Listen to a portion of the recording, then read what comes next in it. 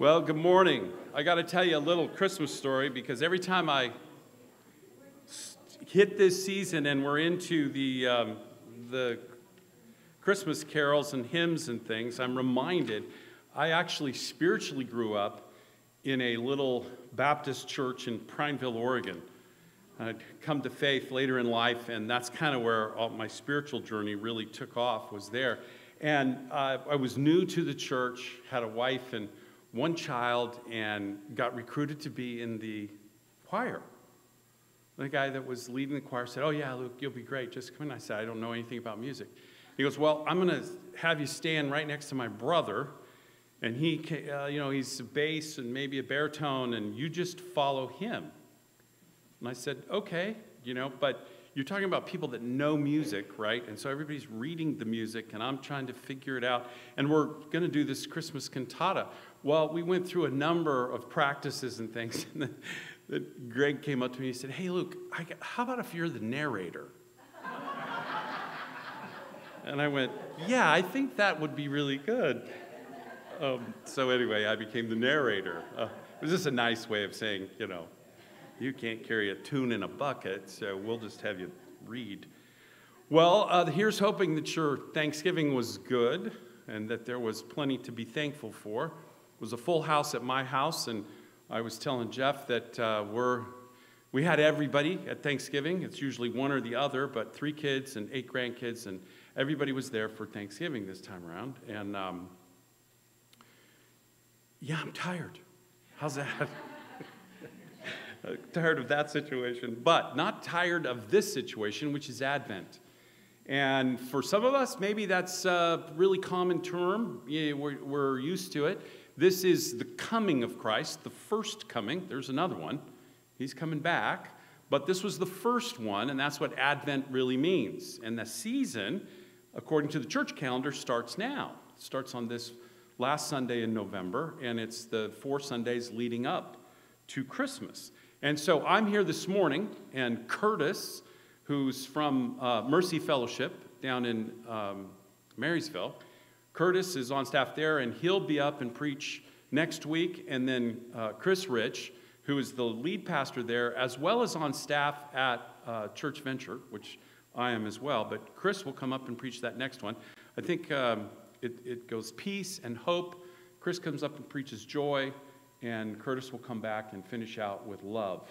So it's uh, we're kind of looking at those passages. Jeff read to you that verse out of Isaiah. That whole chapter really is worth it to take a look at in the Christmas season as Isaiah is prophesying what is what came to pass with Christ coming. But this morning we start with peace.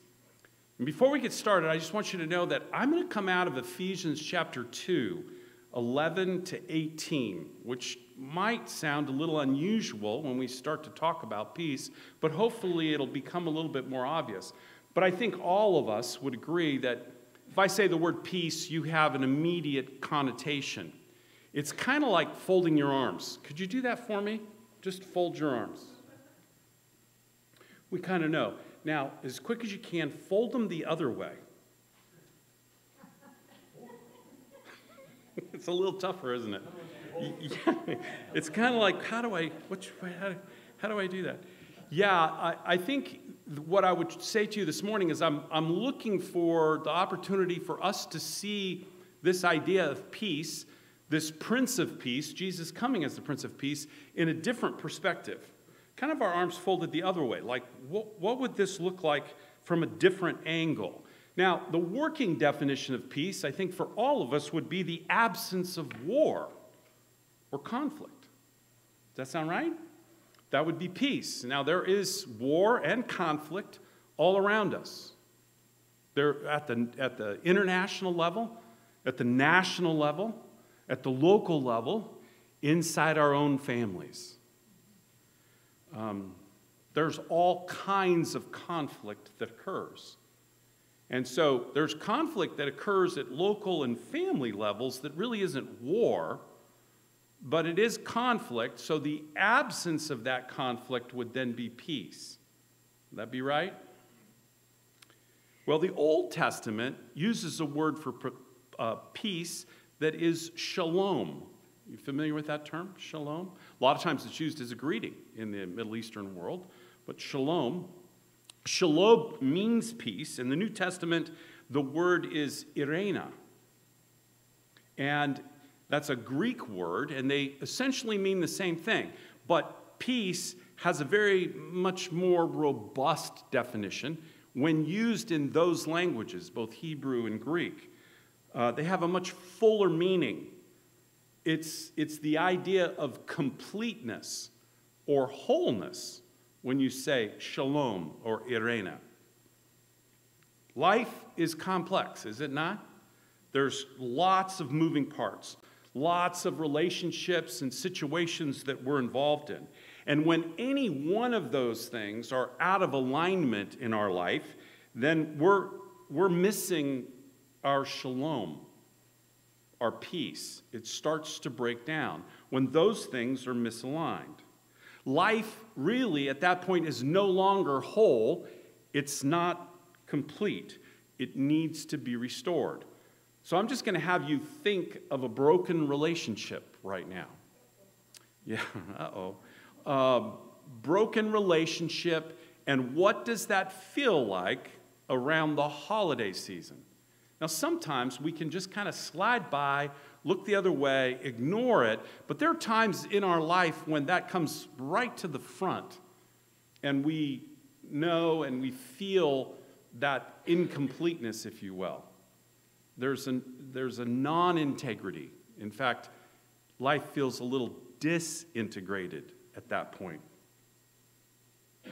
To bring peace is to bring shalom, to make whole, to restore, literally to reconcile, to bring the healing to a broken relationship is to bring shalom and peace. And you can kind of see where I'm going here. It's getting telegraphed.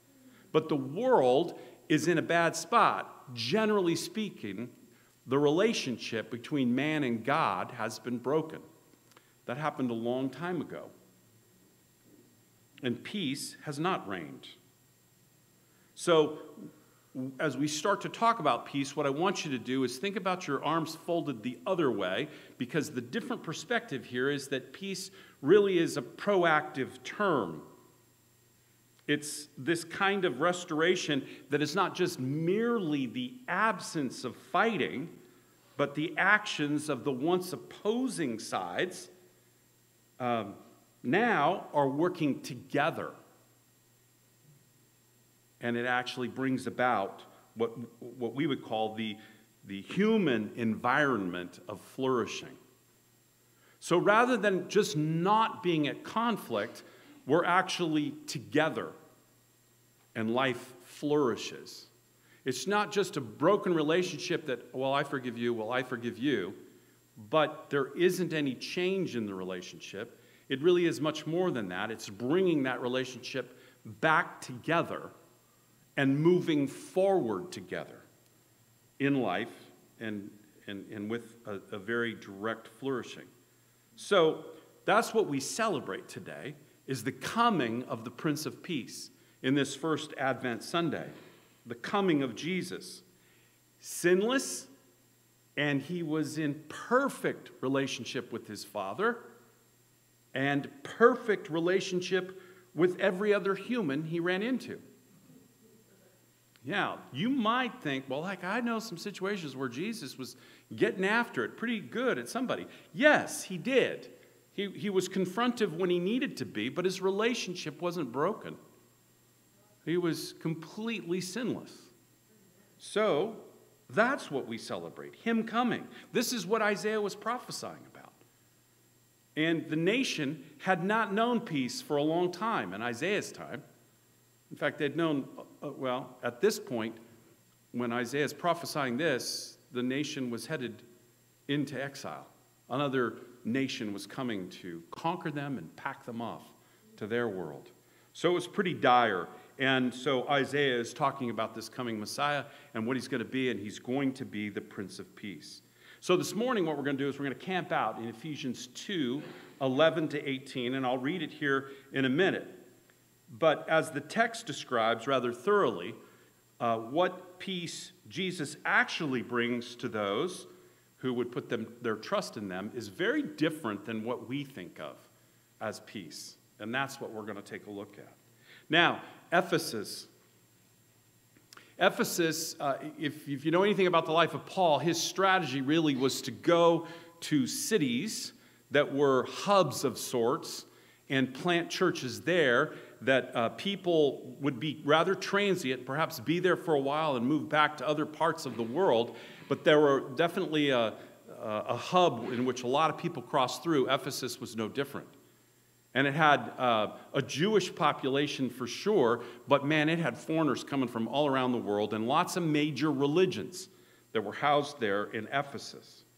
And Paul is writing this letter and is going to give them some rather profound teaching. And if you looked at, at, at the book of Ephesians, uh, Paul really spends the first half, the first three chapters, talking about what our faith is, and then the last three are kind of how we live that out. So, you're going to hear some themes in this chapter that you're very familiar with. And I'm going to ask you just to go with me it might feel a little tedious, but I promise you it won't be. We'll take a look at this from a couple different angles, and hopefully it'll all be um, fresh for you. All right, so let me read this to you. Uh, Ephesians chapter 2, uh, starting at verse 11. Therefore, remember that at one time you, Gentiles in the flesh, called the uncircumcision, by what is called the circumcision, which is made in the flesh by hands.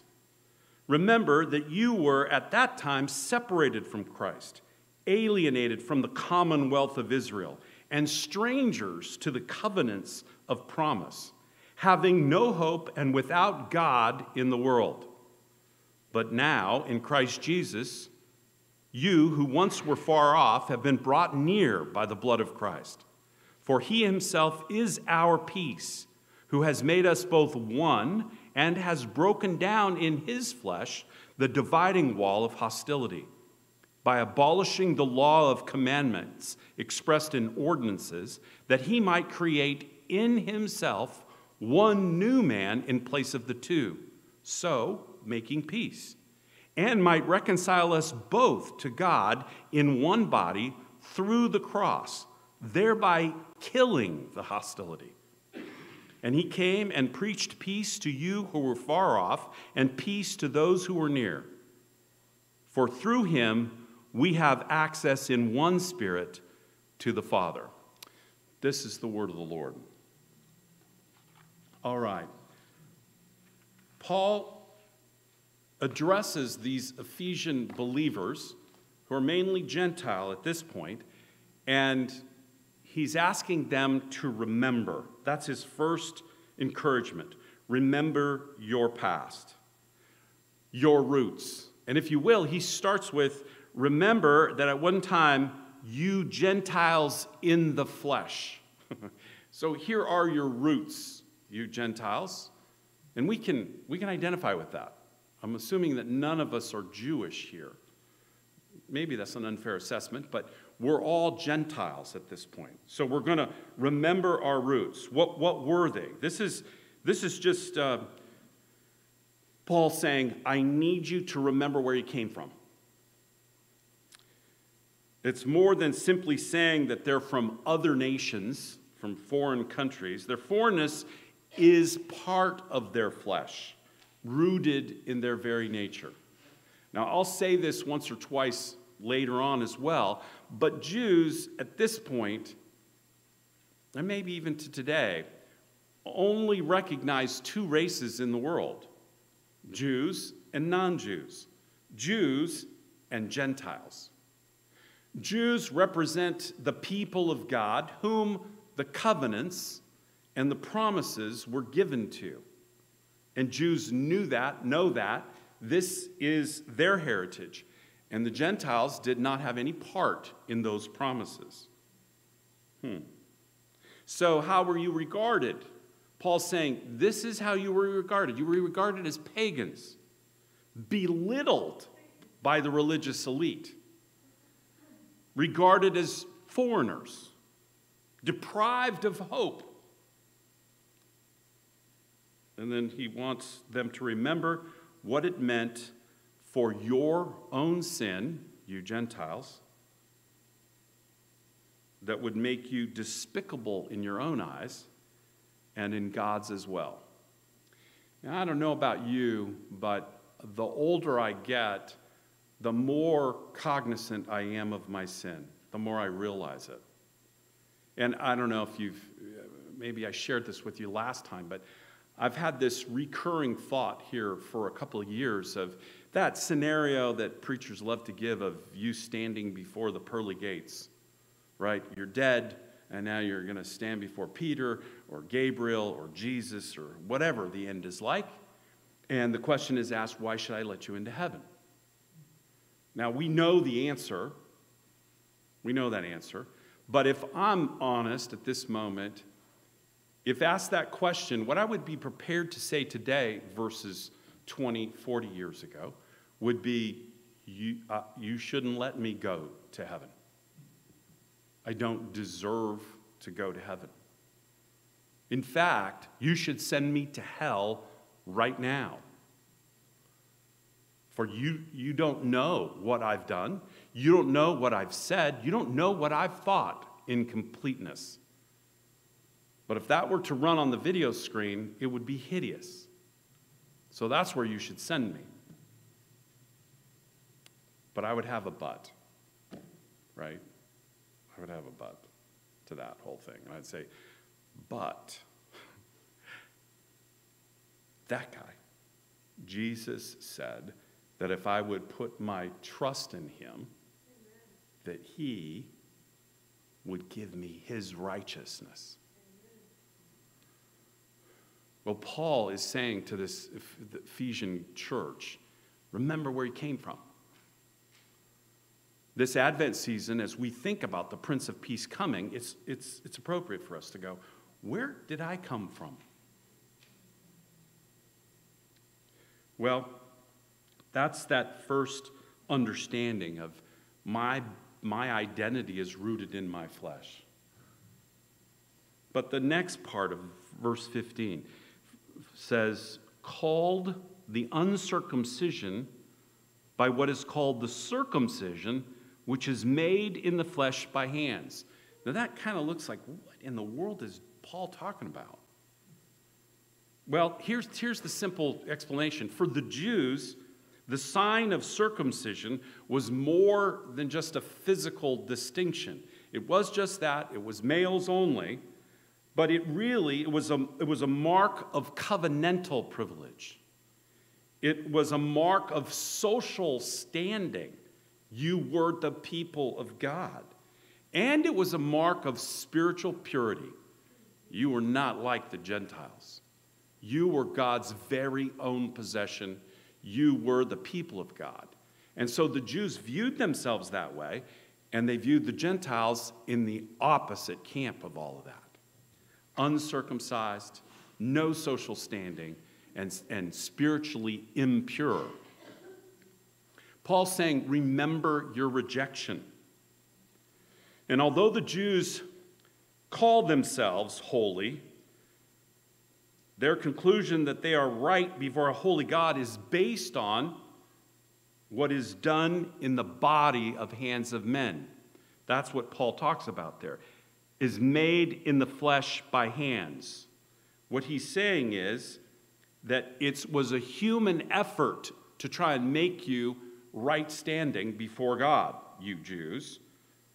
That, that you were relying on human efforts to give you your spiritual status.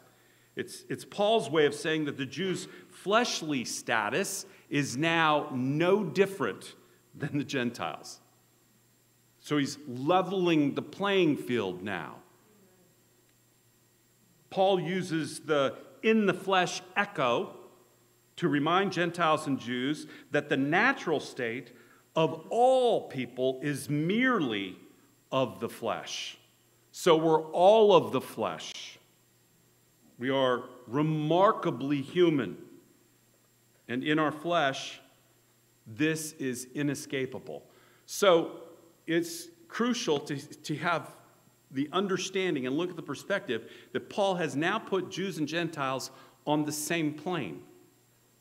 For different reasons, but on the same plane. All right, so we got through one verse. Wow. Well, let's take a look at this next verse. Verse 12. Remember that you were at that time separated from Christ. He's still talking to the Gentiles alienated from the commonwealth of Israel, and stranger to the covenants of promise, having no hope and without God in the world. If I had to reword this, I would say Paul's saying, now just remember the consequences of your past. What were the consequences of not being God's people? Well, you were alienated from any kind of meaningful community you were alienated from God's people. And you can see that covenants and promises are in the plural here. So while we would understand the one covenant, but there are multiple covenants in Scripture that dictated all kinds of things to the people of God how they were to structure their families, and how they were to pass on property, and how they were to live. There were promises. And if you went back to Deuteronomy and just looked at the last sermon given by Moses, he says, Hey, he, he, if you do all these things, you will be blessed. And he listed all of them. God promises his blessing. And what happens if you don't do them? You'll be cursed. Well, you don't have that meaning in your life as a Gentile. You were alienated from that. And you were alienated from intimacy as well. Those covenant promises were not only the basis of Israel's relationship to God, but it was also the social glue that united families and neighbors and worshiping communities.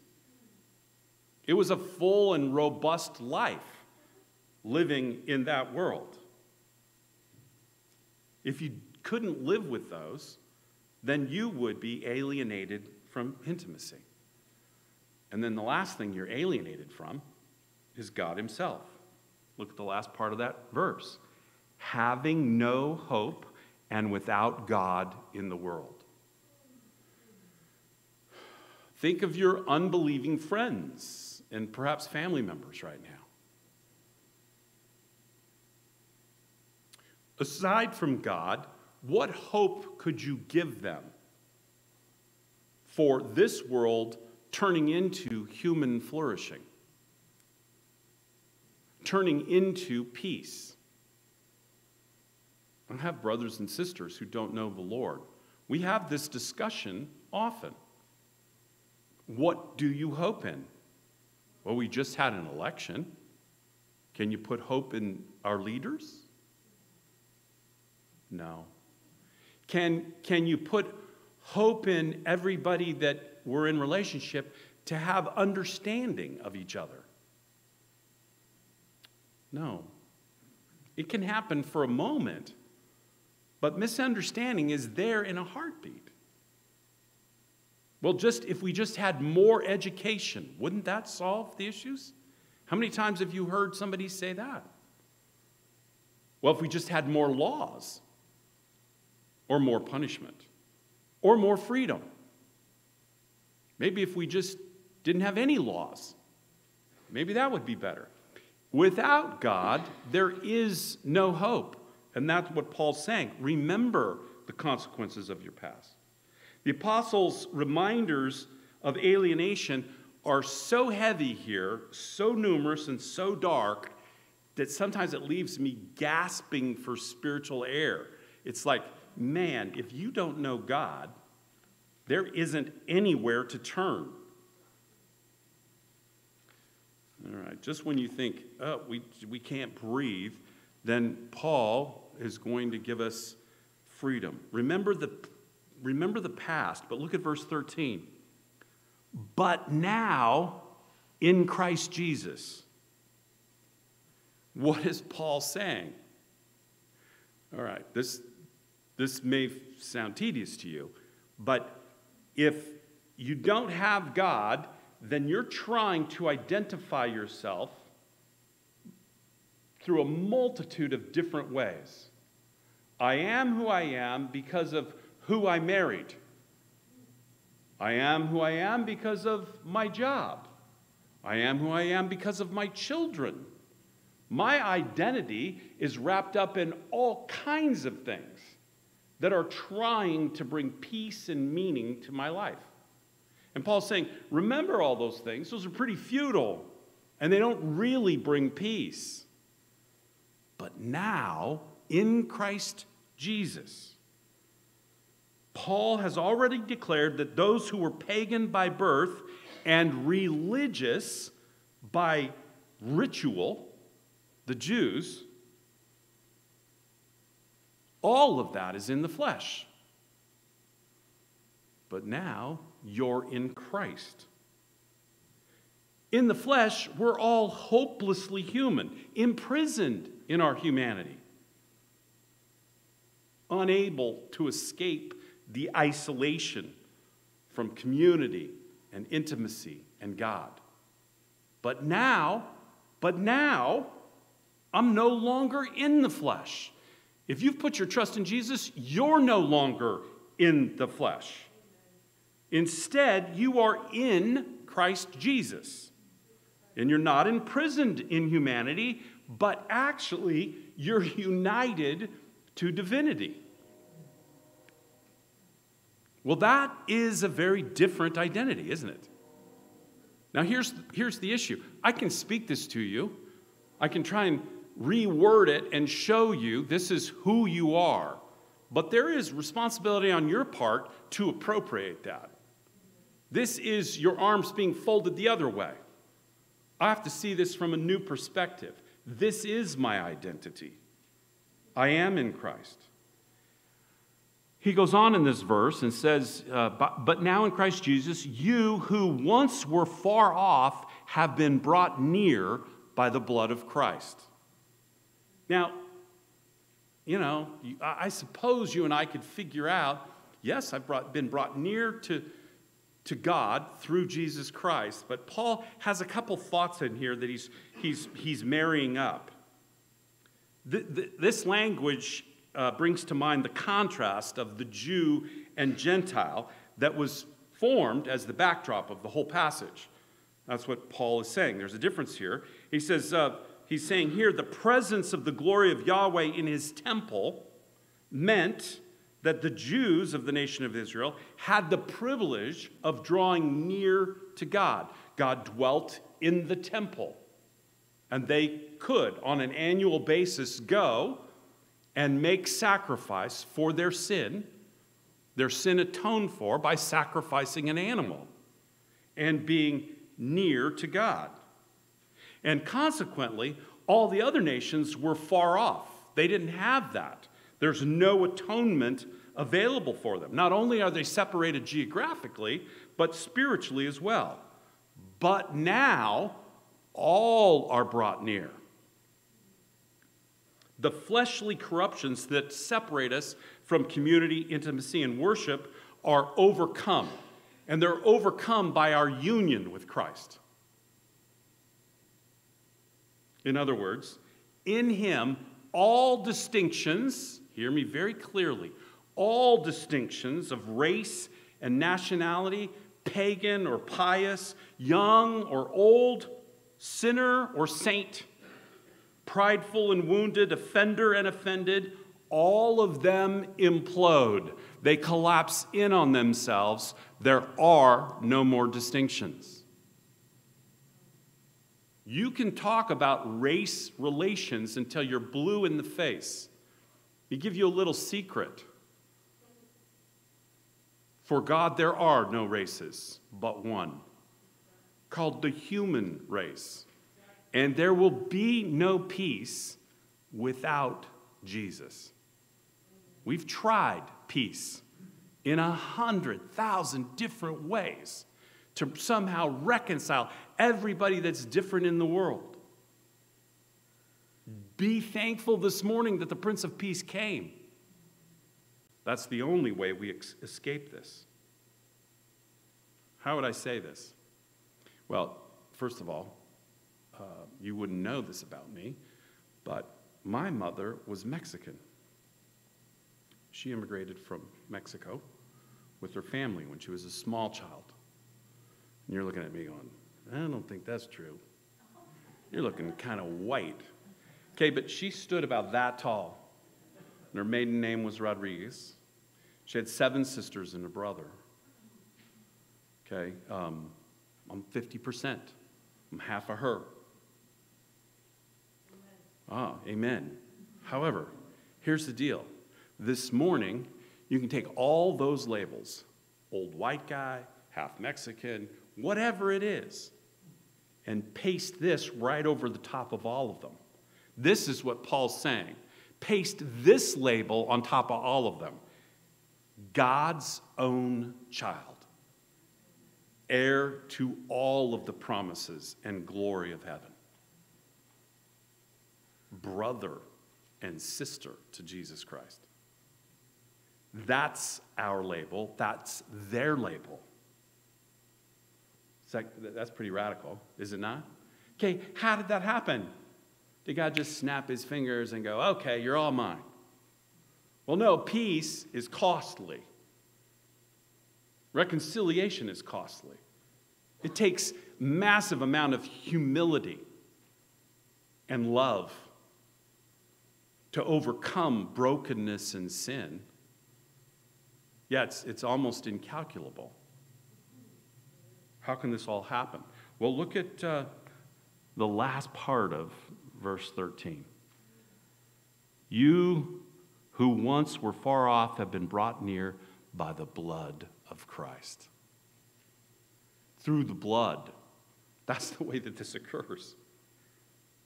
When we read these words, the first thought that comes to mind is of the cleansing power of the blood of our Savior when he took this, this, the sin, our sin, on his body, his human body, on the cross.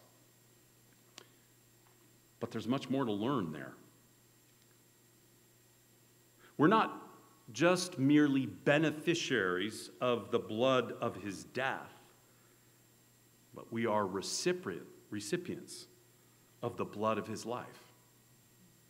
His blood and his life now flow through us because the grave couldn't hold him and he rose from the grave.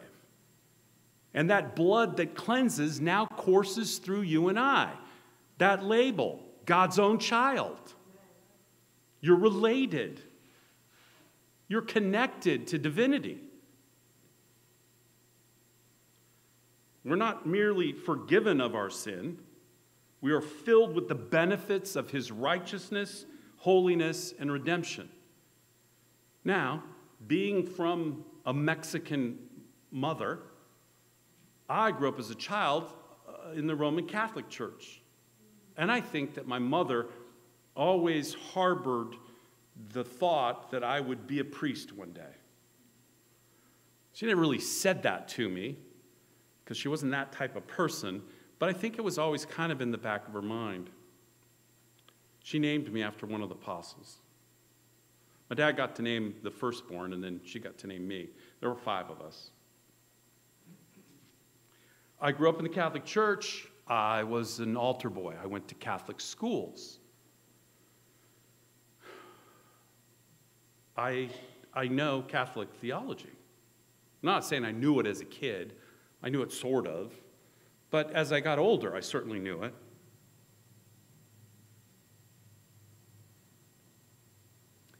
There's a difference between Catholics and Protestants. Maybe there's more than one, but there's one that's key. I do believe that Catholics can be saved. There can be saved Catholics. Their understanding would be different than the theology that's stated. And, and really, clearly, this has everything to do with the blood that runs through you and I if we put our faith in Jesus.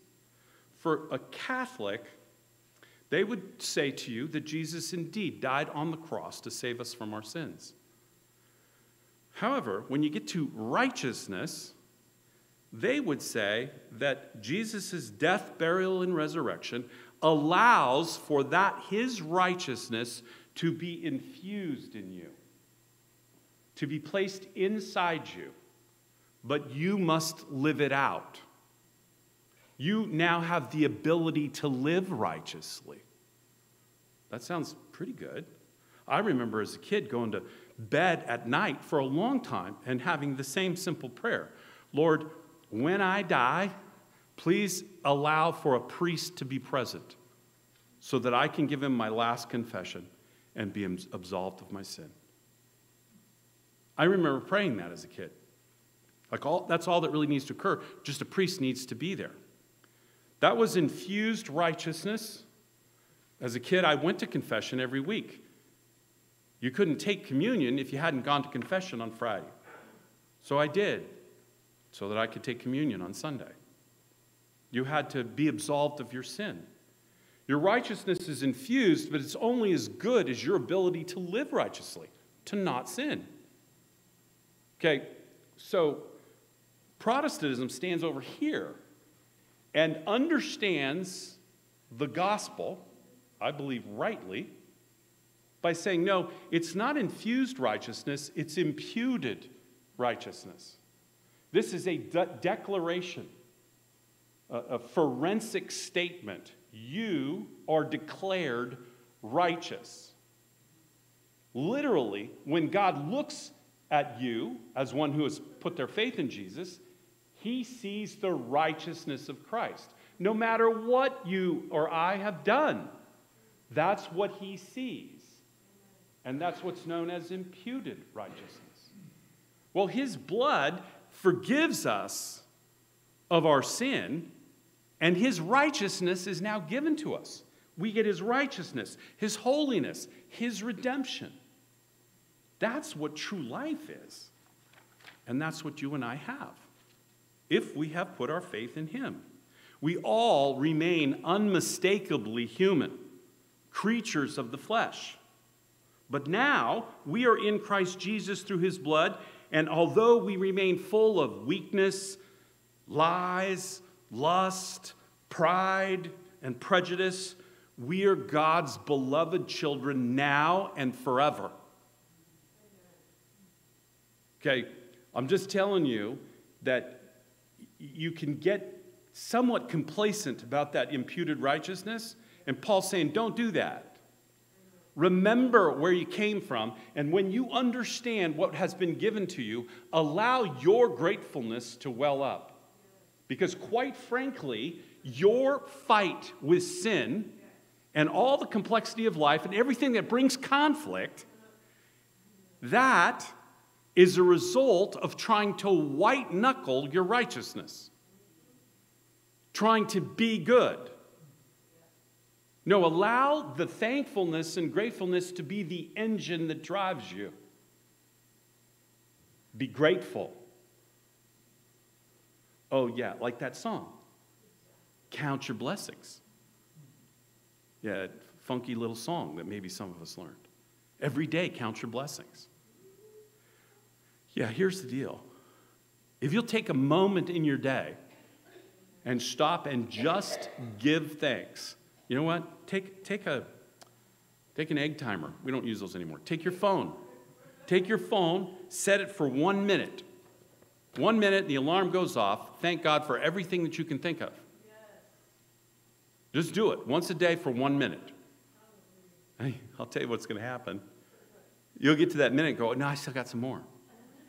Yeah, I got some more, Lord. I, I have a few more things. This is what drives us into a new understanding. This is what drives us into peace, shalom, eirene, wholeness, completeness. We have this kinship with God.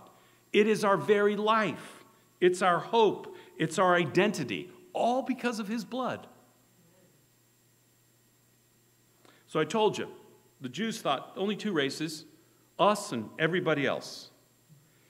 And what God did right here in these verses, according to Paul, is he put an end to that ancient enmity, that ancient conflict.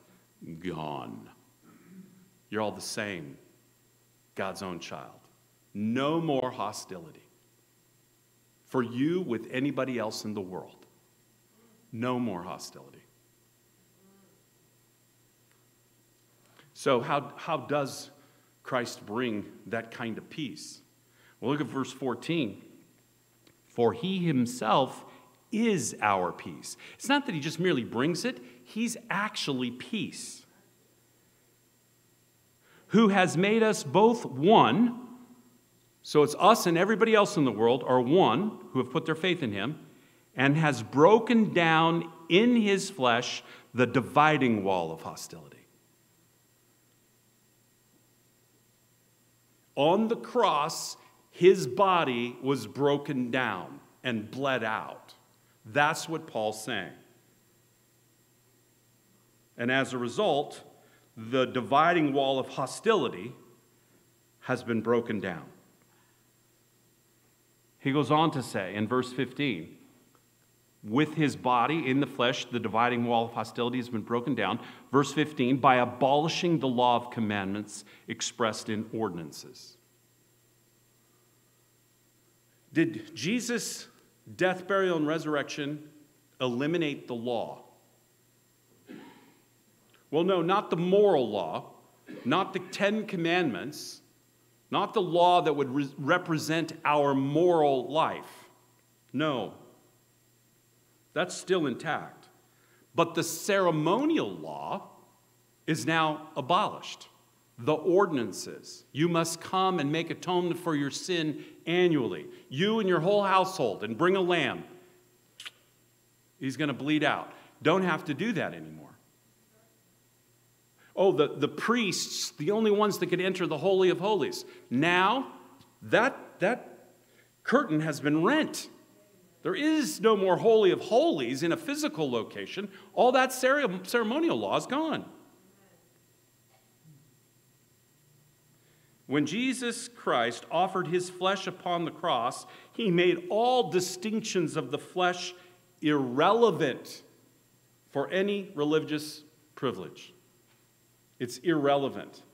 This isn't about what you do, it's about what's been done for you. That's the recognition. Now, there's great freedom there, right? There also can be license. Should we go on sinning? Paul says in another letter, no. Perish the thought. Don't think that way.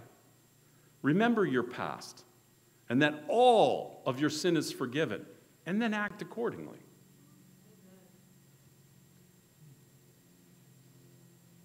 Fifteen, let's just keep reading. So he abolishes the law, the ordinances, that he might create in himself one new man in place of two, so making peace. Well, here's, here's his solution. I just wait, make one man, new, new man, a new humanity. Because Christ's blood brings peace not only by destroying the ancient enmity, but also by creating a new humanity. This sacrifice of Jesus makes the shedding of blood in the temple sacrifices no longer necessary. In his flesh, he met the requirements of the law. He led a sinless life.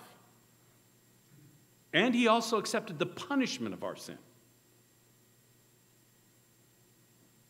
That the law demanded. So here's the deal the Jew no longer must sacrifice, we've talked about that, and the Gentiles no longer separated from the atonement. Both are made pure, brought together. Shalom, peace, flourishing. All right, we're almost at the end. Take a look at verse 16. And might reconcile us both to God in one body through the cross. Well, the only way that God, that we can see how Christ's blood brings peace with others, it, only makes sense when you perceive how Christ's blood brings peace with God, period. In verse 16, Paul is saying that it was God's purpose to create one new man out of two previous men, thus making peace between them. And also, in this one new body, reconcile both to God through the cross. So both will have to come to Calvary. Both bodies, or both men now as one body. So it's not just a reconciliation between the individual and the Lord, the reconciliation is corporate. This gets a little sticky. All I'm saying here is you want to solve the problems of conflict and war in the world, there's only one way. All must go to Calvary. You can write as many peace treaties as you want to, and ceasefires, and anything else that you want to in human creation. But the Prince of Peace will bring actual peace, and, and the only way for us to have that is to meet at the foot of Calvary and to proclaim Jesus as the Savior, the only answer. So the full reconciliation that God intends occurs as the two different races representing all people on earth in one body are reconciled. So we actually have to live this out. Okay, but there's more hostility. Take a look at this verse. And, verse 16, might reconcile us both to God in one body through the cross, thereby killing the hostility. Does that sound violent to you? Well, there is a Prince of Peace who came and killed hostility. The second hostility mentioned here is not between men and men, Jew and Gentile, me and anybody else. That's the first hostility. But rather, the second one is hostility between heaven and earth, God and man. By the cross on which his son died, God put to death the hostility between heaven and earth, between God and man. If you don't know Jesus, what does the Bible say you are? Well, Paul says you're an enemy of God. There is hostility between you and God. That's what we all were prior to salvation an enemy. Yet when we were still sinners, Christ saved us. Think about that for a second. This, let's be really clear you go overboard on a cruise ship liner. Did you guys hear about that story this week? It was a guy, he was in the Gulf of Mexico, 28 years old, and he got up from a bar. It was like in the middle of the afternoon or whatever, and then by dinner time, they couldn't find him. And they called everybody, Coast Guard and whatever, and the boat turned around, and who knows how long he'd been gone or whatever, but they actually found him. I don't think I've read a story about that happening in my lifetime. But they found him in the Gulf of Mexico. Crazy. I think he should have just saved himself. Did you do that? Oh, if you saved yourself, you wouldn't need a Savior, would you? Okay, just understand that all of our human effort will not equal salvation. You can't save yourself. You need a Savior. Jesus kills the hostility on the cross. He absorbs all the wrath of God, killing all of hostility. God said, I can't live with sin. There must be the shedding of blood. And so, this perfect, sinless, true human being dies on the cross. This Prince of Peace, proactive, and he's coming. So, what does that mean? Well, that means that we can have true peace now.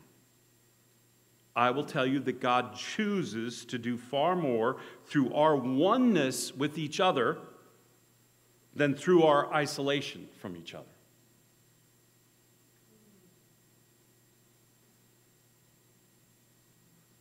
So be a true witness of this peace. Be a true witness.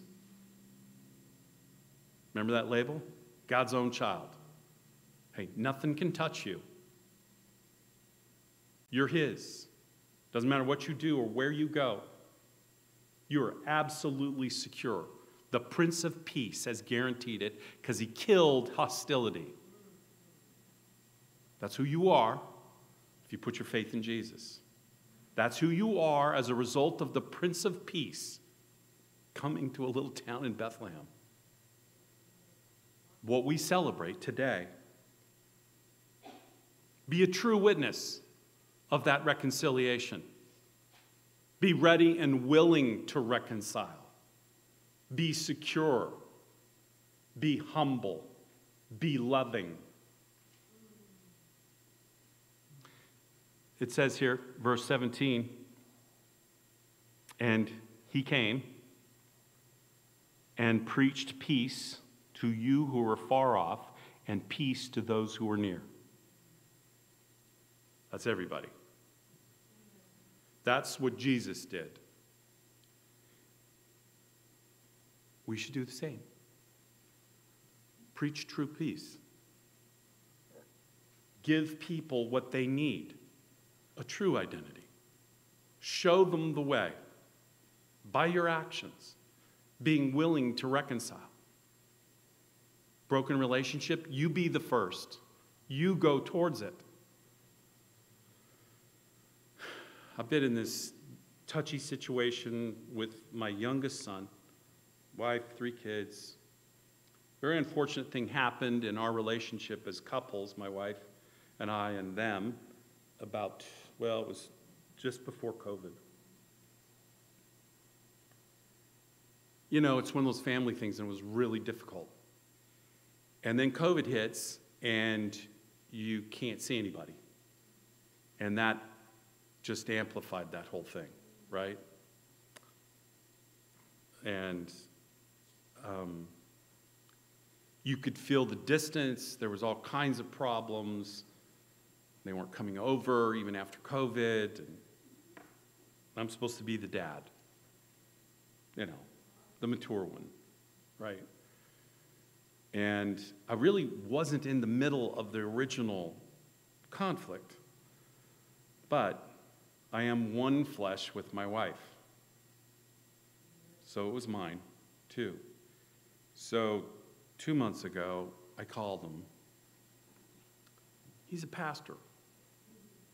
And I said, Hey, can we grab coffee? He said, Yeah. And we went and had coffee and kind of chit chatted. And I said, I just, I just want to talk. And he said, Well, what about? I said, Well, things are broken. And he wasn't ready to kind of jump into that whole thing. And so I said, So what's your hesitancy? And he said, um, You haven't been dad to me through all of this. Well, if you live long enough, maybe it won't be true for some of you. It was true for me having lived this long, all of my kids have come back and told me how I wasn't something for them. That's what kids do, you know. Yeah, it's it's it's it's a really difficult thing. And I, in all truthfulness, tried to be very humble and receiving. It was difficult. That's not my personality. To be humble and receiving. And I listened and I said, I'm really sorry. And we got together a second time.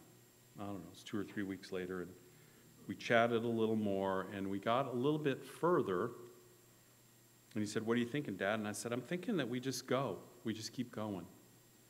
And so we set the third date. And he was out of town for a little while. And he came back into town. And we were going to meet on a Wednesday. And on a Monday, he goes, Hey, can I, can I push that date out? Because man, I'm just swamped. It's right before Thanksgiving, and da, da, da. can we push it? Or it was the week prior to Thanksgiving week. He said, Can we push it out to Thanksgiving week? And I said, Actually, your sister's coming into town. It's just a zoo. I don't know that we'll, I can get the time. And he goes, Well, can we just push it out? And I said, Sure. And it came back to the house, and I just lamented and poured it all out to my wife. Any of you guys ever done that? You know, just kind of like, you know, and you know what? I'm not going to call him. I'm not going to call him. He's going to have to call me. because, you know, I'm trying, it just feels like maybe it's not that important to him. And what do you think she said? I refer to her as the Holy Spirit often. Uh, yeah, she said, uh, No, Luke. No, you, you will pursue him. You will call him. And I'm thinking, it's not even my problem. You have more of a problem than I do. I'm thinking all these weird things. And she's going, No, you will pursue him. And I said, No, I don't, I don't think so. and, you know, about five minutes later, I'm like, Yeah, I think I'll pursue him. uh, here's the point you have to stop and think of your past. You have to stop at that moment and say, Who am I? You have to stop in that moment and say, What's at stake? Yeah. We both know Jesus, Adam and I. We both know him. It requires us to preach the gospel to each other. That's what it requires. And you say, well, if you already both know him, I'm not talking about the plan of salvation. I'm talking about the gospel, the good news that the Prince of Peace has come and he's reconciled us to God. And we, as two of his children, should be reconciled to each other. What's the excuse? There is none. We need to preach to each other, far and near. Okay, last verse. Verse 18 For through him we both have access in one spirit to the Father. Christ's blood brings peace for each of our souls. Through one spirit, access to the Father. Paul is saying, in no uncertain terms, you have access to the God of the universe. Stop and think about it. You have access, as one, in one spirit, have access to the God of the universe. That is shalom. That is completeness. That is wholeness. That is flourishing. Shalom through Christ alone. Just a little walk back through. In verse 13, Christ sheds his blood. Christ alone sheds his blood. In verse 15, he sacrifices his flesh. Christ alone sacrifices his flesh. In verse 16, Christ alone kills hostility. You see, real peace requires a real Savior. Not a strong leader, not a good politician, not more laws, not more freedoms, not more restrictions. Real peace requires a real Savior. So on this day, you and I say, Come and welcome to Jesus Christ. Amen. Would you pray with me?